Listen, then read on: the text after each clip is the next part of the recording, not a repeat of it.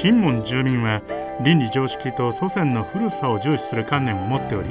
これによって金門は中華文化史上特殊で貴重かつ誇らしい人文精神の精髄を保有するようになりました。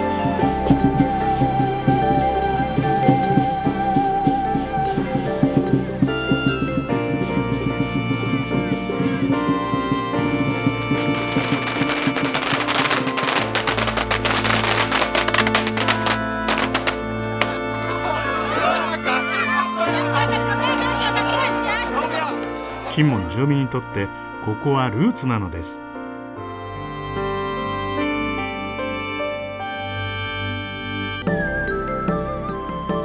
宗祠建筑哈是中国华南地区非常重要的在聚落里头的中心性的建筑物哈，那当然在金门也不例外哈。整个金门的一百多个聚落里头，有高达一百七十栋的宗祠。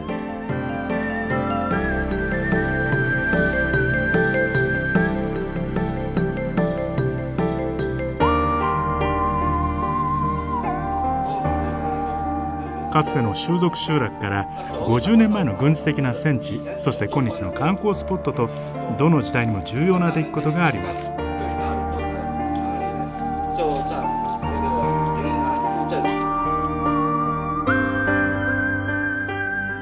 ここで完全に保存された闽南文化は習俗倫理が凝集され民族信仰を今日に伝えています。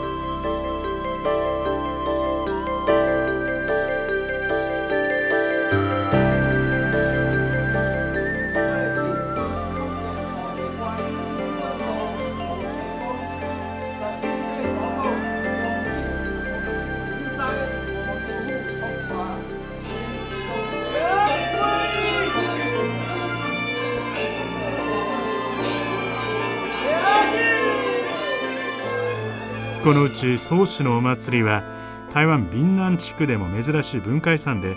昔からの儀式が完全に保存されています。興味深いことにおよそ150平方キロメートル余りの金門の土地にさまざまな宗氏が160余りも存在します。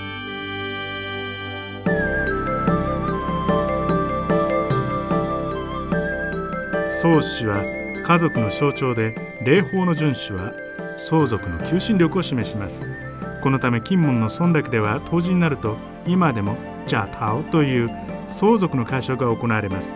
村落の各世帯が持ち回りで執り行い相続の交流と求心力の強化を図っています。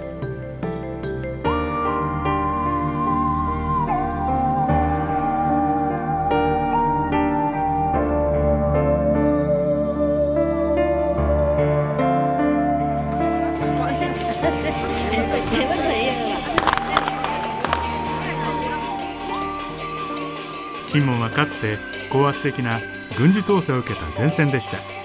しかし戦地の任務を解かれた後